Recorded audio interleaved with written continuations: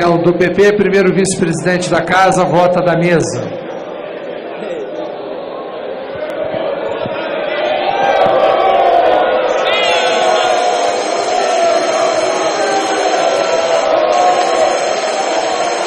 Peço mesmo respeito ao voto de todo mundo, ao voto do vice-presidente da casa. Senhor, senhor presidente, deputados, deputadas, todos nós estamos emocionados. Todos nós estamos atentos, julgando a nós próprios, respeitando consciências. Eu quero dizer ao Partido Progressista, que afirmou que estão, mas em desacordo com a posição do meu partido.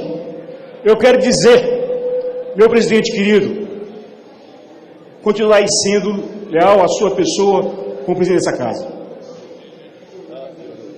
Quero dizer ao meu governador do estado do Maranhão, Flávio Dino, que sonhou com a mudança, que vai transformar o nosso estado.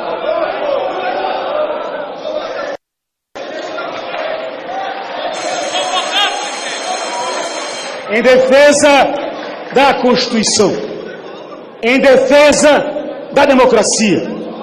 Não, sim, não ao golpe. Contra, contra o impeachment retificando com o voto do deputado Valdir Maranhão. Temos 57 votos não. Deputado Everton